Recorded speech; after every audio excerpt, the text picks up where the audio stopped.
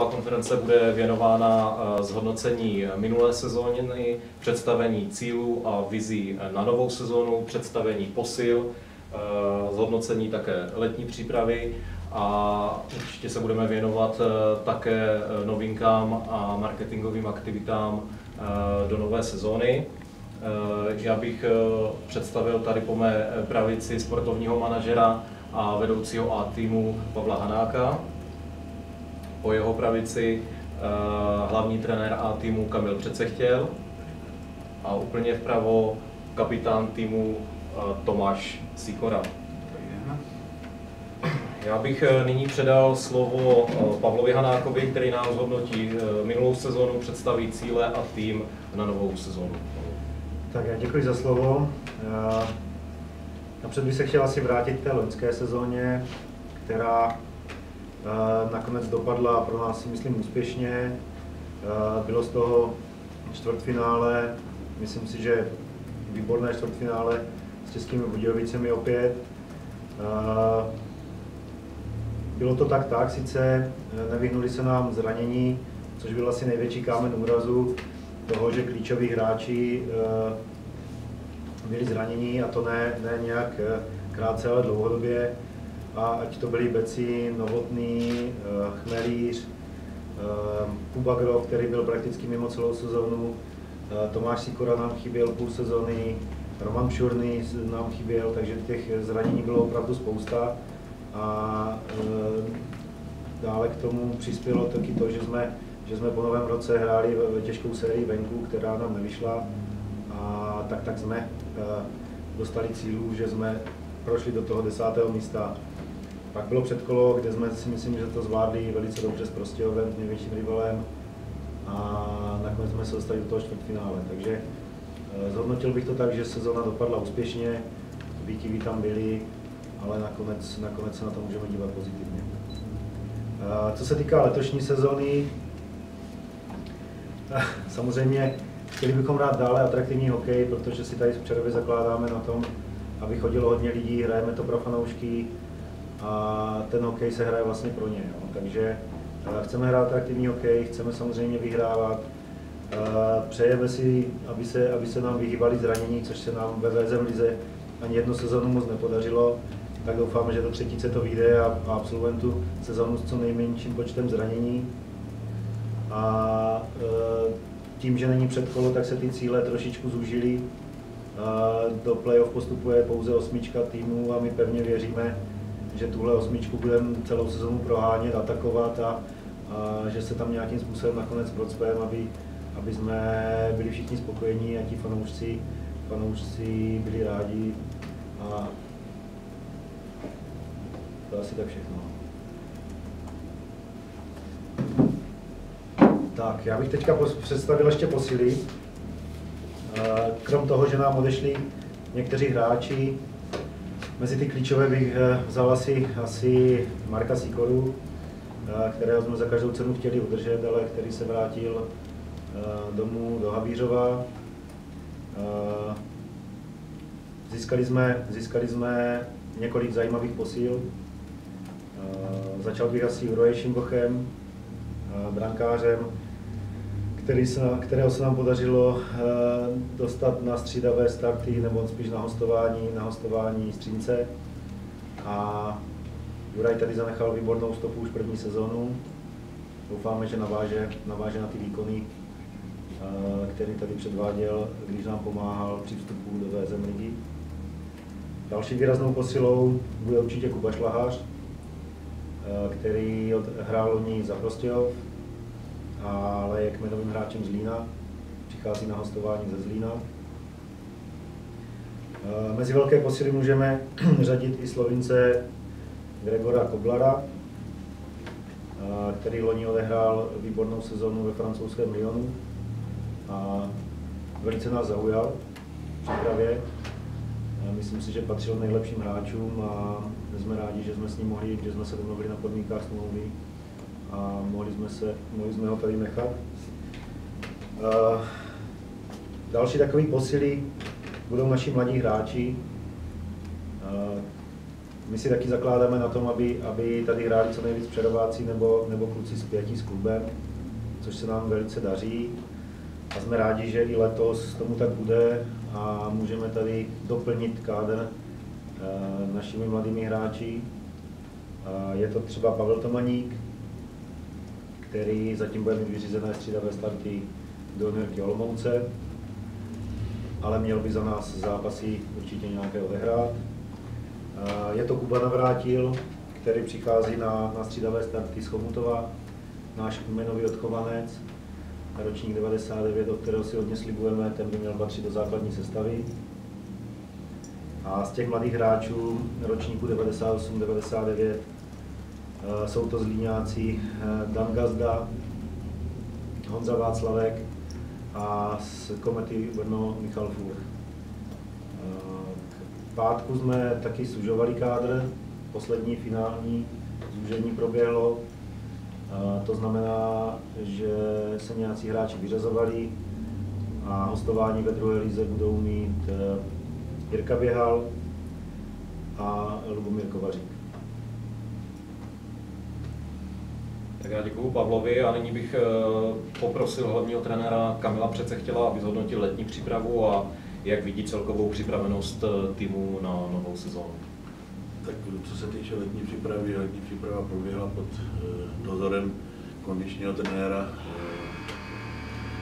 který, který připravil přípravu opravdu velice, velice kvalitní a myslím si, že to byla jedna z nejlepších, kterou jsem já jako trenér s zažil. Eh, potvrzuje to i vstup na, na led, znamená potom ta ledová příprava teď už v momentě, kdy jsme se dostali do Přerovské haly, eh, kdy to vypadá, že je opravdu velice slušně kondičně připravený a že eh, bude určitě v tomhle směru jedno, jedno z nejlepších, nejpřipravených v soutěži.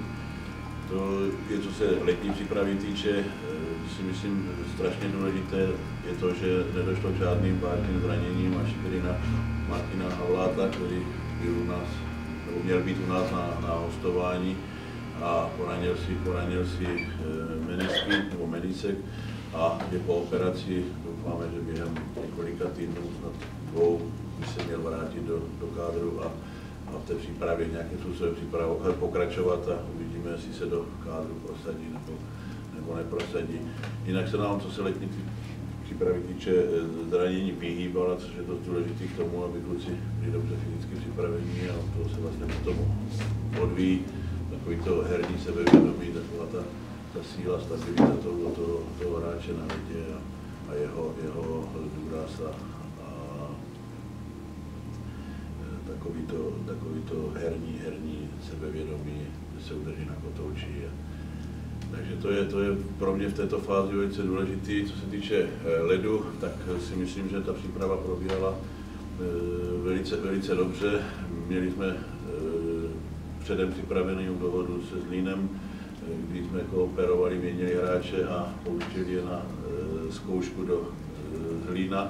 Takže jsme prvních 14 dnů, prvních 14 dnů měli 6 hráčů ve Zlíně, trénovali jsme s našimi mladými a hráčema, který jsme chtěli vyzkoušet většina z nich zůstala, protože se nám, musím říct, podařilo vytipovat velice slušní hráče, zůstala delší dobu. Eh, dělají nám jeden velký problém a to ten, že jsme nebyli schopni se rozhodnout okamžitě po těch prvních zápasech, který hráče nechat, protože ta kvalita jejich byla, tak jsme jim to řekli, velice slušná a se všema zůstáváme v kontaktu a je možné, že třeba i v průběhu sezóny, nebo určitě výhledem na příští sezónu budeme s těma klukama, co už tady letos byli, eh, spolupracovat dál, ale kádr se v průběhu toho měsíce měnil, pomaličku zužoval a tak, jak říkal Pavel, eh, v pátek jsme de facto uzavřeli, uzavřeli řeknu, jak to říkají, reprezentační trenéři, nominaci, nominaci na, na letošní sezonu a myslím si, že ten kádr zaprvé podle našich možností, jaký je máme a i představ je, tak doufám, že splníme cíly, cíle, které před nás naše vedení postavilo a to je dostat se, protlačit se, vybojovat osmi místo a odehrát, odehrát kvalitní utkání.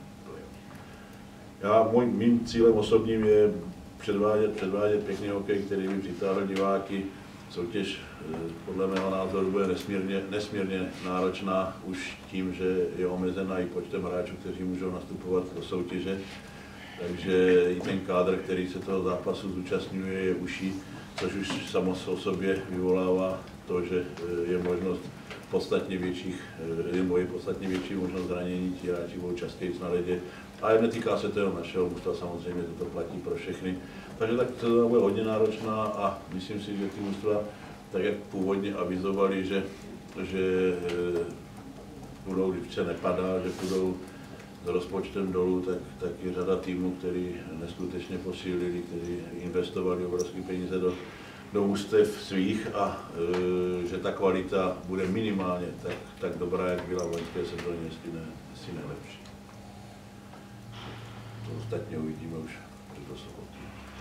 Co se týče, co se týče e, naší samotné přípravy herní, tak ta proběhla, odehráli jsme 10 zápasů, nebo 9, zítra nás čeká poslední přípravné utkání. Já musím říct, že v takovém tom globálu těch přípravných zápasů jsme, e, můžu říct, že jsme odehráli ty utkání velice kvalitně, disciplinovaně, celkem, celkem i slušně herně a že se projevilo takový, takový to, co tady v Přerově je už delší dobu, že to mužstvo, ať hraje přátelák nebo utkání o body, tak tomu přistupuje velice zodpovědně a chce každému utkání podat co nejlepší výkon. Samozřejmě ten výkon je taky motivován e, mužstvem, proti kterému nastupujete, tak samozřejmě nejlepší utkání té přípravy byly na e, samotném Zuber Cupu, který, který pořádal náš oddíl a který musím teda říct, že se velice povedl a že e, nejenom naše utkání byly kvalitní, ale i utkání Slávě s Nojma, který tady na zimním stadionu byli a mohli jsme je sledovat, tak byly utkání, které na to, že byli e, přípravní a že byli v letním období ještě, tak e, měli svoji kvalitu a já si myslím, že i naše mužstvo svým způsobem to posunulo zase o kus dál kdy jsme viděli, jak vypadá Eber ligy, jakým způsobem se připravuje, jakým způsobem hraje hokej, jaký styl. Takže jsou to věci, jsou to věci, které jsou pro nás jako kontakt s těmito kluby velice, velice vhodný a velice dobrý. Stejně tak utkání, kterými jsme odvedli, jak se Zlíně, tak ve Slávii, si myslím, že byli od toho té přípravy a můžeme si jenom přát, nebo já jako trenér bych si přál, aby takových zápasů, ale hlavně takových výkonů eh, bylo se to něco nejvíc. Já si myslím, že z mé strany směrem, směrem připravit to všechno. Děkuji Kamilovi a Pavel ještě něco doplní k týmu. Já bych chtěl ještě doplnit uh, něco k soupisce teďka na začátek sezony. Uh, po dohodě se Zlínem uh, se Kuba Ferenc, který zaujal v přípravě, přesunuje do Zlína. Společně s ním dostane šanci na začátku extraligy Matouš Kratochvíl. Chtěl bych říct, že je to pro nás pro nás eh, obrovská čest, že tihle kluci přerováci, kteří ještě před dvouma, třema rokama hráli druhou ligu, jsou dneska v kádru extraligového Zlína nebo vůbec extraligy a, a pro ty kluky je to paráda, možná motivace pro další tyhle mladí, co, co, sem, co sem bereme, že vidí, že to jde a že je možnost, je možnost eh, se do té extraligy takhle dostat. Eh, samozřejmě mm, je tam dohoda taková, že k nám se zase přesune obránce Tomáš Valenta a útočník Tomáš Forst. Eh, týká se to teď začátku sezóny. Ta výměna bude pokračovat podle dohody nebo podle, podle samozřejmě výkonu těch hráčů. Děkuji Pavlovi a ještě eh, bych se zeptal Tomáše Sikory, jak vidí on z pozice kapitána, z pohledu kabiny tu přípravu a jaká je nálada v kabině před sezónou? Tak eh, začnu tou náladou. Nálada je eh, bojovná, strašně se těšíme už na ligu. Příprava byla dlouhá a máme to opevněný tou sobotou, kdy nám přijede Roman Prostějov. To všichni víme, co to tady znamená. Takže náladu máme bojovnou. Uh, doufám, že se to vyjde. Uh, když vezmu tu přípravu, tak uh, jsem velice rád, že se trenérovi líbila z naší strany. Opravdu jsme k ní přistoupili tak jako každý rok, tak jako každý profík na 100%. už v létě s Tomášem Tomidou jsme do toho hodně šlapali. Pak přišel ten let, kde, kde jsme pak vstoupili těch zápasů a, a jsem rád, že, že jsme zvládli tak, že pan trenér je spokojený.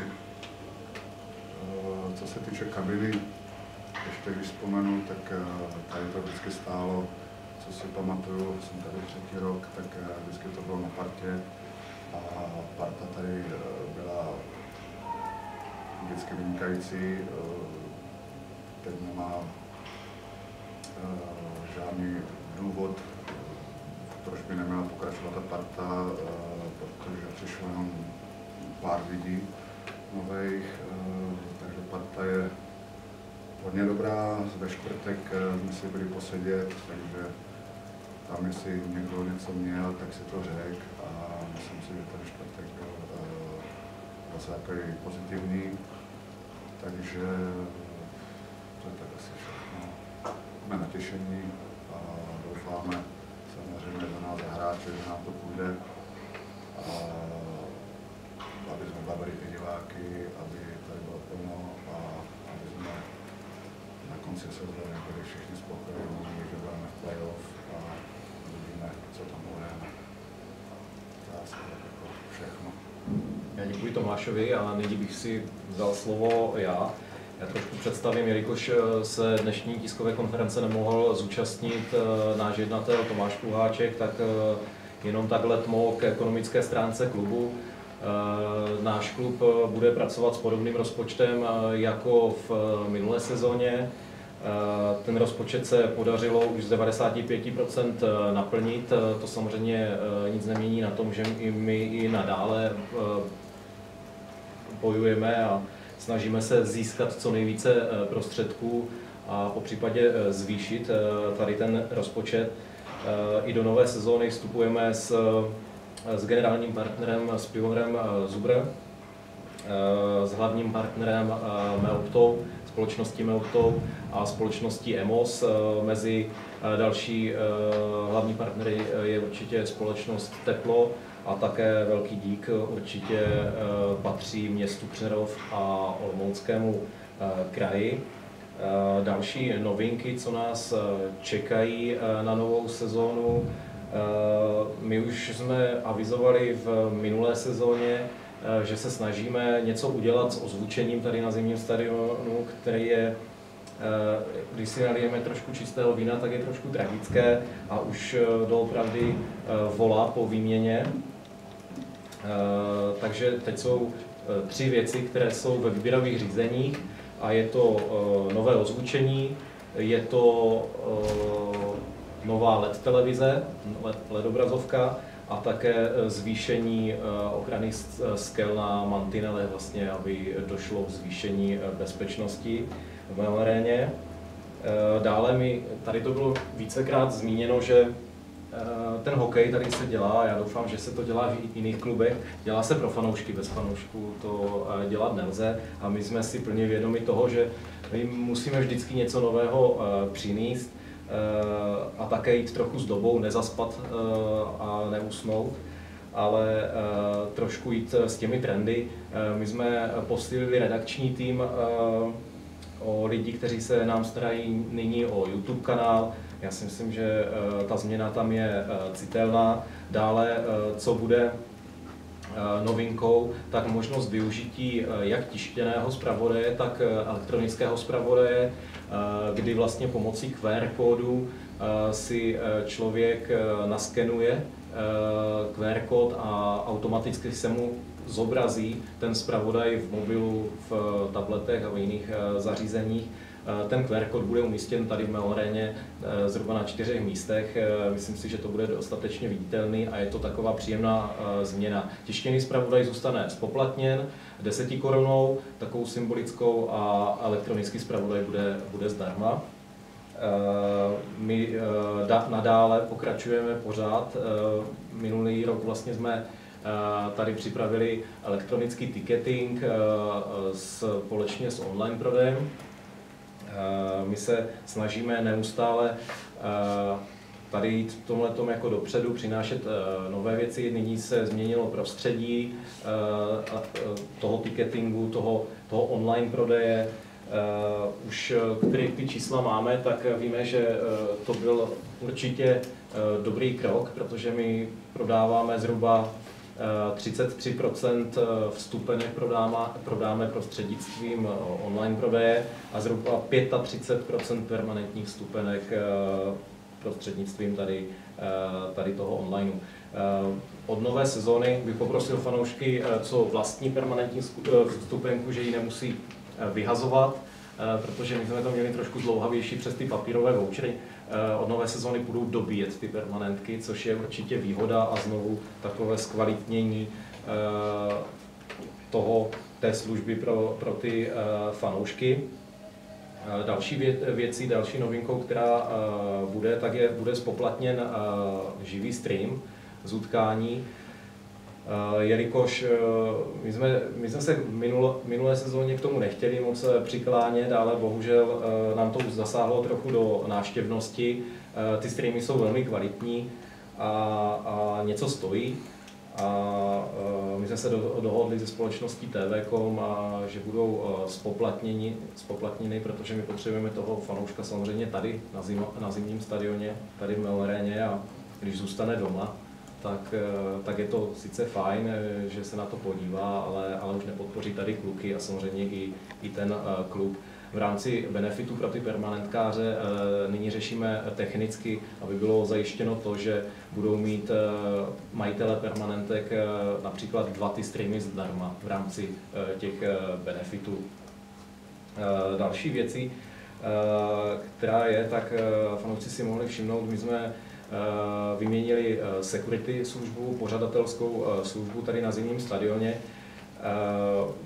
Vlastně byl minulý týden byl i velký bezpečnostní seminář se svazem v Praze za účasti Extraligy, první ligy a druhé ligy. A tady ta otázka té bezpečnosti tam byla dost kladena, aby se nešetřilo na té security, aby ty kontroly byly čím dál tím intenzivnější a tak dále. My jsme, já si myslím, že, že eh, byli až moc přísně třeba nastavený, abych se přiznal teď při těch přípravných utkáních. Eh, my tu laťku mírně snížíme eh, v oblasti té kontroly u těch vstupů, ale určitě, určitě prosím fanoušky, aby si třeba ten návštěvní řád přečetli a, seznámili se s ním a vyhli se tak zbytečným problémům jak u vstupu, tak potom eh, v Melréně. Eh, dále, co se týče nějakých aktivit eh, charitativního směru, tak my jednoznačně chceme znovu pokračovat v projektu Srdce Zubra. Ten projekt je nesmírně úspěšný a určitě chystáme znovu, navážeme na novembr v listopadu. Dále po vynecháním jednoho roku se vrátíme k růžové edici dresu. Eh, bude zase probíhat eh, aukce a výtěžek eh, bude věnován na charitativní účel. My zatím nevíme komu, ale pracujeme na tom. Dále budeme v rámci celé té sezóny zvat takzvaně čestní hosty. Eh, tam se nám eh, střídají eh, sociálně znevýhodnění, ať už to jsou SOS vesničky, dětské domovy, seniori, tělesně postižení a tak dále. Dále bych určitě upozornil, že se nám podařilo konečně rozjet e-shop a konečně jsme se taky v tomhle posunuli někam. Určitě bych rád fanoušky taky pozval v sobotu na první utkání s Prostějovem, tady na Hanácké derby. A my i v rámci toho prvního utkání jsme přichystali fanouškům tady před Melorénou. Bude pódium, vystoupí kapela Forum od 15.00, tak ať se všichni přijdou podívat a nyní ještě dojednáme s naším generálním partnerem, že by tam byla i cenově zvýhodněné pivo, takže to bude určitě e, příjemný a, a jak tady e, kluci říkali, Uh, oni nějaké změny proběhly ze strany svazu. ale ta soutěž určitě nestratila a nestratí na té atraktivitě díky těm klubům, kteří v ní působí. Budeme tam mít, nebo máme tam nově Karlovy Vary, bývalý extraligový a, a nově taky velký rival v Setín a já se hrozně těším na tu novou sezónu, těším se na ty utkání a doufám, že se tady v Meloreně všichni potkáme. Nyní bych předal, jestli je nějaké otázky. Tak já si můžu se zeptat, vlastně mluvil o, o těch změnách, co se týče ozvučení a, a, té, a té, té LED televize nebo takhle, tak jak třeba taky mi to stádiu a jestli se toho fanoušci dočkají ještě, ještě v téhle sezóně? Nebo... Není to uh, ve stádiu tak, jako já přesně nechci říkat ty termíny, protože i já jsem si myslel osobně, že to bude mít uh, rychlejší průběh, ale samozřejmě, a to si asi každý uvědomuje, že uh, ta investice není úplně malá, v dnešní době to, jako, jako majitel budovy město Přerov je i investorem a tím pádem si tady ten průběh toho výběrového řízení řídí sám. Samozřejmě ten proces není jako jednoduchý, tedy v rámci těch veřejných prostředků, takže, takže vím, že firmy tam jsou přihlášeny a nyní se řeší zřejmě cena, nabídka takhle. Jo. To samé to samý je s, tě, s těmi mantinely. Ale jestli se to stihne eh, v rámci uh, této sezóny, já k tomuhle chci být jako trošku zdrženlivý a oboma nohama na zemi nejsem si úplně jistý, jo. ale všichni vnímáme, že to je potřeba. A už, už doufám, že minimálně na příští sezónu, aby to teda dopadlo. Díky. Takže jestli nejsou uh, žádné otázky, tak uh, děkuji všem za pozornost, děkuji, že jste přišli, když byla tisková konference svolána, tak uh, narychlo a děkuji a přeji hezké odpoledne.